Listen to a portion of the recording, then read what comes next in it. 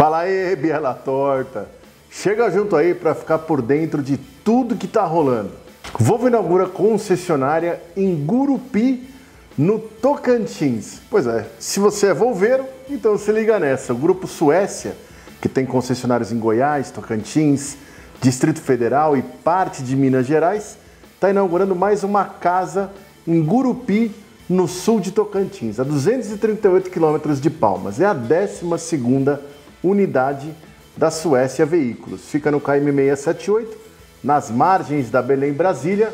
Foi construída em um terreno de 45 mil metros quadrados. Área construída de 5 mil metros quadrados. Então, se você anda de Volvo, já anote aí onde fica a nova casa. FPT Industrial tem dia diferente com a ação da equipe Iveco Usual Racing. Pois é, na última terça-feira, 28 de setembro, o dia na fábrica da FPT Industrial foi diferente para os colaboradores.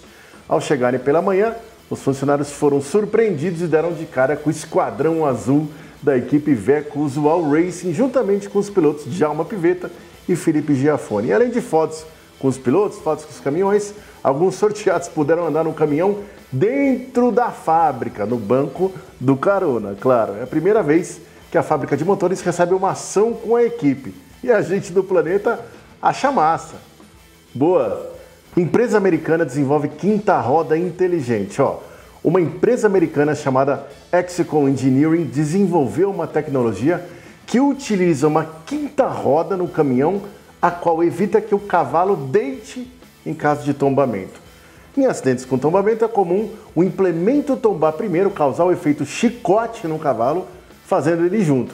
E a tecnologia consiste em perceber essa iminência do tombamento e ativar a quinta roda, evitando o efeito chicote. Ou seja, quando o sistema percebe que o implemento vai tombar, a quinta roda desconecta o reboque do cavalo mecânico e impede que o cavalo tombe junto com a carreta.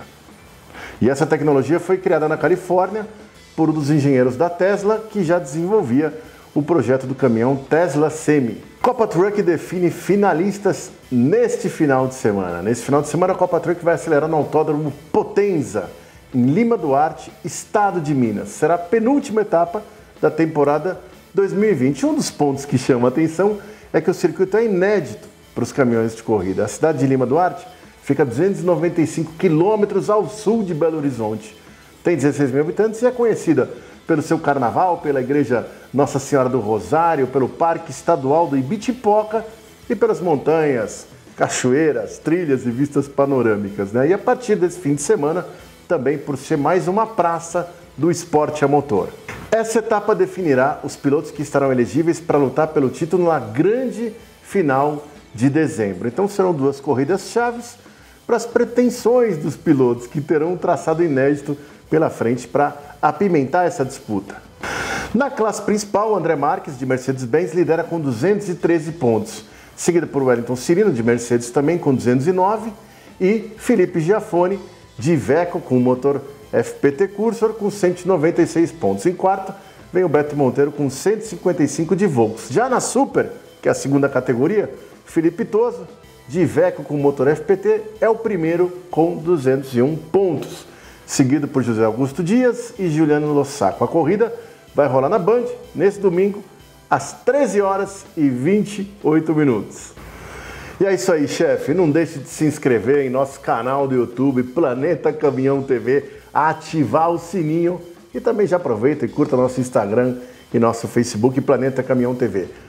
Aliás, não deixe de conhecer o nosso novo portal planetacaminhão.com.br. A gente fez um portal novinho para você, para você curtir aí notícias, informações, novidades. Então, até a próxima. Obrigado e fiquem com Deus.